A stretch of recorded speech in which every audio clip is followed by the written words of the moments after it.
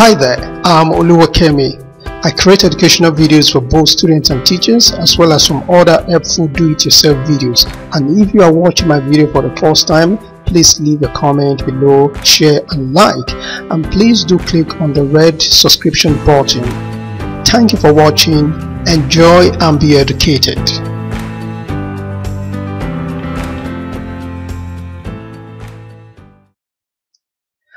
Hi, I'm Oluwakemi. I'm super excited to have you here again. So now let's take a look at this question.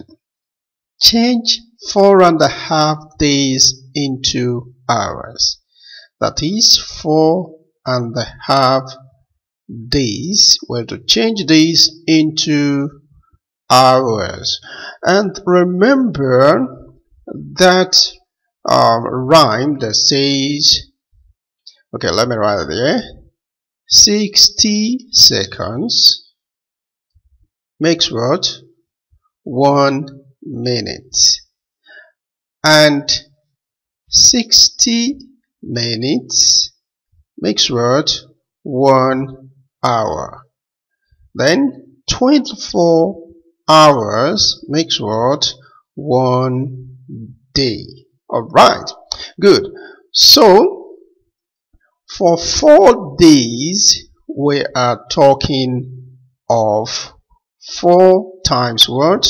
24 hours.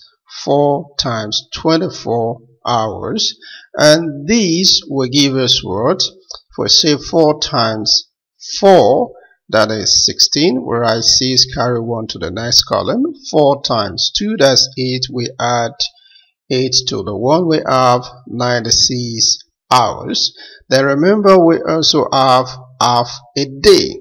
And half a day is half of 24 hours and that is worth 12 hours. So we need to add that up to the 96. So we have our final answer as 6 plus 8. 6 plus 2 that's 8. 9 plus 1 that's 10.